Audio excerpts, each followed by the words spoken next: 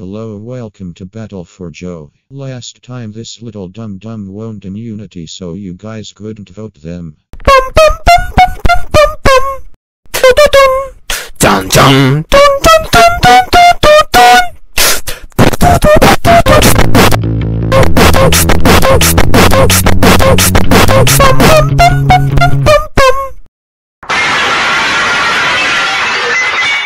Best intro you ever heard, and you know it. The MO is safe with zero votes. Um, Gus and Rectangle are safe with one vote each. I don't want to say this, but Timmy is safe with one vote, and Booger Eater is out with two votes. This challenge is to jump over the block. Recommended by Erm. What was it? Just stop talking. Sorry, whoever recommended it. Anyways, go. On to five.